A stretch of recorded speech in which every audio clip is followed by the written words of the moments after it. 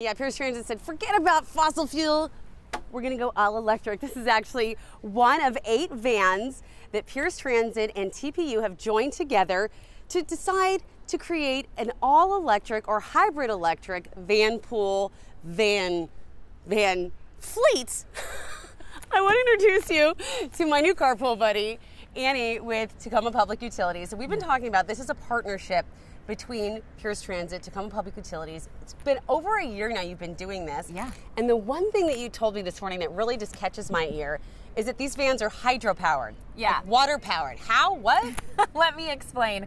So, a lot of people don't realize that Tacoma Public Utilities, our power comes from hydropower, um, which makes it naturally carbon free. It's one of the cheapest among the country and is actually the cleanest in the country. And so, I am proud to say that when our um, employees come using these vehicles, Yeah. they charge up here in our parking lot, they will actually be charging with clean, renewable hydropower. Do you take the van or you can take the van in? You know, I actually have a Leaf.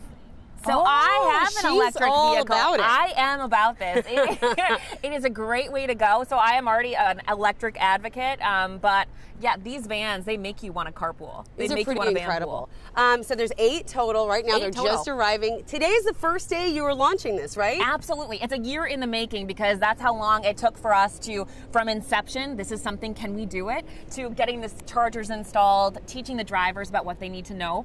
And so the cars are getting delivered today and it starts today. Well, thank you for letting us be here for this this Thanks morning. It's pretty neat. Here's the fleet. You were just looking at it right now.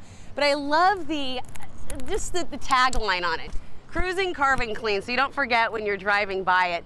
Now, these vans are going to be saving an average of 6,000 gallons of gas every year. They can cruise for 32 miles uh, without any gas power before they got to turn on to the gas. So it's pretty cool. The, the drivers have been trained to use them as efficiently as possible to get the most out of that electric charge. Pretty impressive stuff out here in Pierce County. I'm going to send it back to you in studio.